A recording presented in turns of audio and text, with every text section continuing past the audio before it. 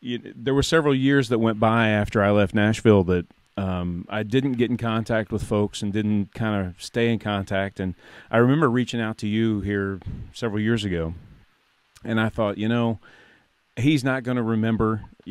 I'll have to jog his memory, you know, and and uh, it was I was just shocked when you came right back and and was like, yeah, hey, what's going on, you know, and and that uh, that kinship among songwriters is something that I've always treasured, you know, and you writing a song with somebody has always been like well you're you're sharing your innermost emotions uh, a lot of the time when you're really digging into some of these emotional songs and um, getting into how folks think um, you know everyone has a different way that they like to think about songwriting. Um, mine is there's a layer of songs right over the top of my head and usually some one of them will hang a leg down and and uh, I'll grab it and I'll get to be the writer of that song. That's kind of that imaginary thing that I think of.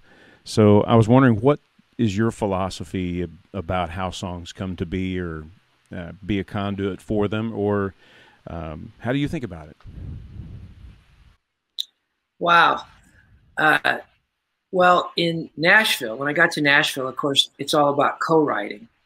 And when you co-write, it's a whole different deal because you obviously you like in your case you had the idea and i was able to build on it which of course is a lot of fun because then you don't have the terror of the blank page. You, you'd already taken care of that. You don't have to worry about that. So the way it works in nashville is you know you have your 10 a.m appointment and you just start running ideas off each other. And depending on who has the most credibility. Like if I was writing with a top writer, they'd sit there and they'd say, "What do you got, kid?" Yeah. I guess right. if I was the top writer, I'd say, "What do you got, kid?" Yeah. I don't know, but um, you know that that's that's one way to write. And the thing about that kind of writing is because you are writing for uh, you don't know who's going to record it. You have to keep your ideas somewhat general yeah. because you know, maybe one artist that you really like would never do a song about cheating, but maybe the other artist would happily do a song about cheating, but don't mention drinking, you know. Yeah. So you kind of co-writing, you end up shaving a lot of rough edges off. Now, when you write by yourself, you can do anything, you know, whatever your personal experiences are. And I think those are the better songs, but those are harder to get into the public if you're not the artist. That's true. So since I'm not an artist, I'm not a singer, it's sort of, you know, when I'm really trying to make a living at it, you have to go for that more general approach and yet still be fresh enough that it moves the the discussion along as far as songwriting, you know, as as, yeah. as far as the psyche of the country, because you're writing the songs that they're going to hear a year or two later. And you want to have some kind of originality in it, but you are hemmed in by a lot of commercial uh, considerations.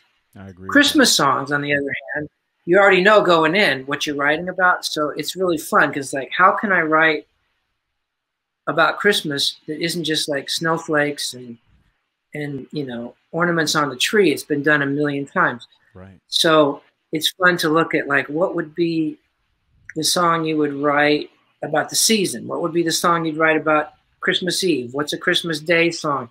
What's a new character like what we had and i really enjoy writing christmas songs because each one's sort of like trying to write a new movie about right. about the same event different yeah. angle you know?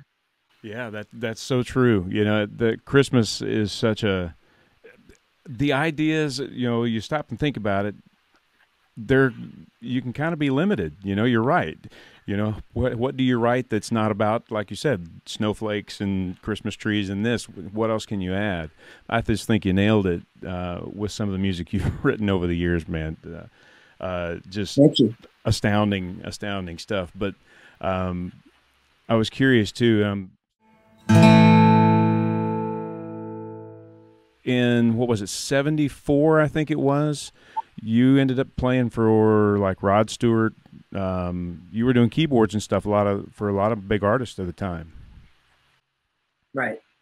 Uh, well, that that story, uh, you know, like a lot of things in the music business, you you have to be ready if you have a break.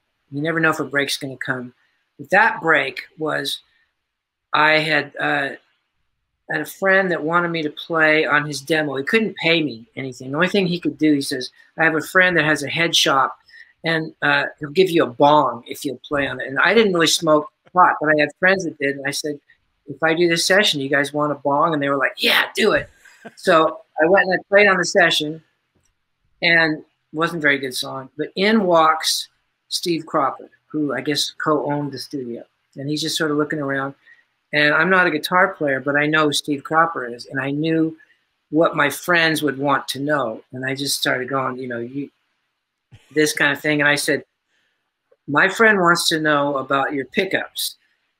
And I didn't even know what a pickup is. But so he started explaining me his pickups and everything. He stuck around. He thought I was good. And he took my phone number. And I went, wow, this is kind of cool. Yeah. Well, I'm living at my parents' house at this point and they get a phone call and my mom says it's it's somebody named steve cropper. And so I, I get on the phone and he goes will you come down and do a session for me tonight? And i went okay. And uh, uh, he says for rod stewart. And the reason it was for rod stewart was because david foster was the piano player and he'd gone home for christmas to canada and he didn't have his papers in order and they held him at the border. So they needed a piano player and they went. Nicky hopkins couldn't do it they went through like four piano players, and Steve Cropper said, well, I know this kid, if you want to take a chance. And Rod Stewart said, Well, if you think so. So I came in, and the song we did was called Ball Trap. She's got me in a ball trap. Yeah. And, uh, and I just, just like, okay, I know how to do this. And uh, then he said, I'm leaving the faces and I'm starting a band. Will you be in my band? And so I went from my mom answering the phone, borrowing her car, to joining the, the first Rod Stewart band when he left the Faces in like three hours time. And uh, incredible.